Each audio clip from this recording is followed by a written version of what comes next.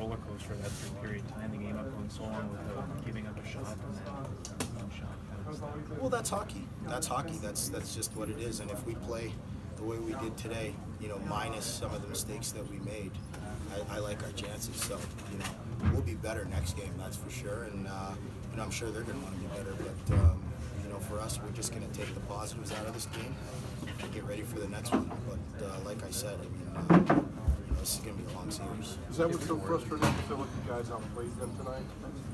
Um, we played well. We did our thing. I mean, I'm not going to get into who outplayed who, but I thought we did a lot of things well. And you know, the evidence is us tying it up three three, and then you know, obviously they they found ways to win. You got to give them credit. I mean, they're they're cup champions. They know what it takes to win, and they found a way to win this game today.